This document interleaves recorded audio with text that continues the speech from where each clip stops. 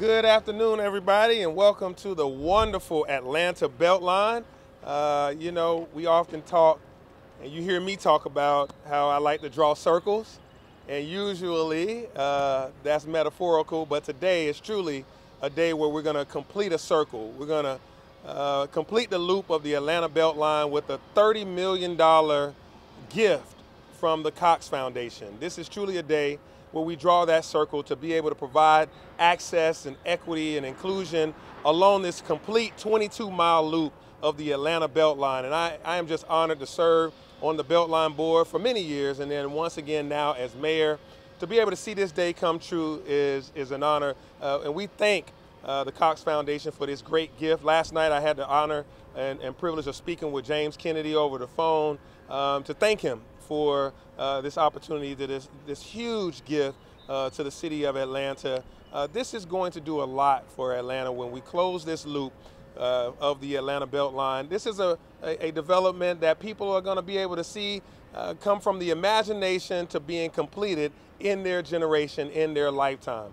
And this is also a great testament to wonderful leadership in the leadership of our uh, CEO of the Beltline, Clyde Higgs, as well as Rob Brawner of the Atlanta Beltline Partnership, and also of Greta DeMayo, who's over the Path Foundation. This collaboration and this good teamwork has led this project to be phenomenal. And so as we continue to work together and thrive together in the city of Atlanta, we see that collaboration is key and gifts like this, uh, the public-private partnership and support that we're getting is phenomenal. So now I'll turn it over to the CEO of the Beltline, uh, Atlanta Beltline Inc.'s uh, CEO, Clyde Higgs. Clyde? Thank you, Thank you Mayor.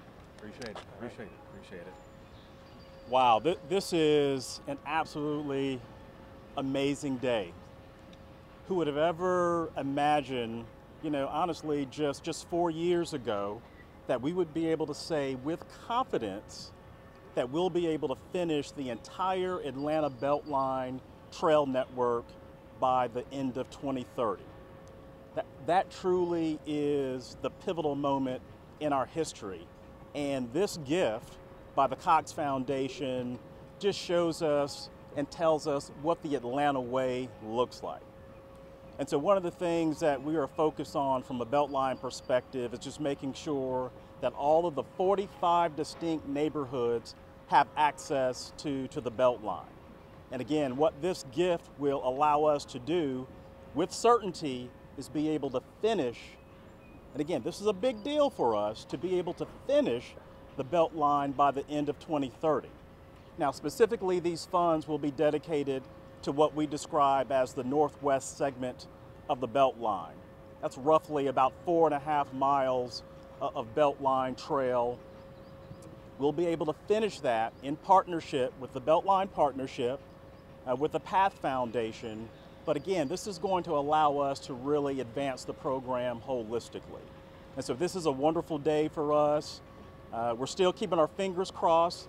Uh, there is a chance that we'll be able to even finish, uh, perhaps even uh, before 2030. No promises on the record, uh, but this will give us an opportunity to really, really push forward uh, in partnership with ABP and the Path Foundation. So thank you very much.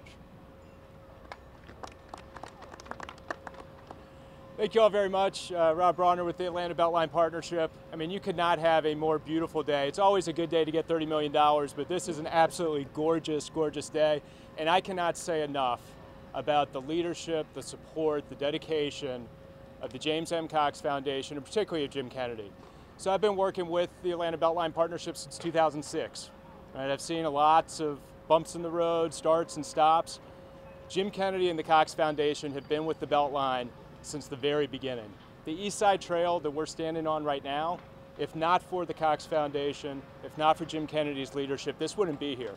He believed in the vision, right, when a lot of people may have been doubting it, but he knew if you build it, it will change Atlanta for the better.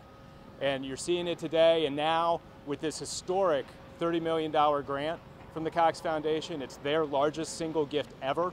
It just shows how committed they are to the city of Atlanta, to the people of Atlanta, to connecting this city through an extensive trail network. And of course, that whole trail network would not be possible without the Path Foundation. Uh, so working in partnership with the Path Foundation, with Atlanta Beltline Inc., with the wonderful support of great funders uh, like the Kennedys, and also, let's not forget, with the Special Service District that the City of Atlanta City Council uh, passed last year that really catalyzed historic gifts to get us to this point. Um, we're really excited. Affordable housing. Affordable housing is absolutely critical. Uh, we've, we've got lots of efforts in place, probably for another press conference at another time. Uh, but really looking forward to delivering the full vision of the Beltline. And again, couldn't do it without great partners, and chief among them, the Path Foundation. And it's my pleasure to introduce Greta DeMayo, their executive director. Thank you.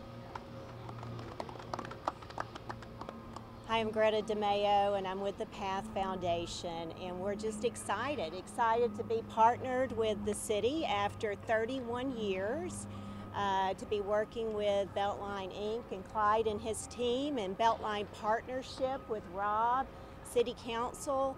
Um, we're here today, though, because it takes a team, and that team really starts with that public private partnership. We're so honored to be able to continue um, working on Atlanta's trail system and working on the Beltline Loops completion. And part of that is this wonderful gift that the James M. Cox Foundation has given to the city to complete that effort. And so, thank you to uh, Jim Kennedy and everyone that's on the Cox Foundation for this gift. We look forward to completing the Beltline by 2030, like Clyde said. And we love a challenge. So, Clyde, if we can do it before 2030, we definitely want to do it before 2030. Fast is always good. So, thank you.